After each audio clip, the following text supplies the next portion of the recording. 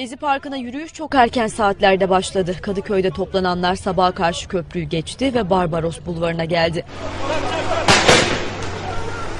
Göstericileri burada polis karşıladı. Göstericilerin kurduğu barikat basınçlı su ve gazlı müdahaleyle dağıtıldı.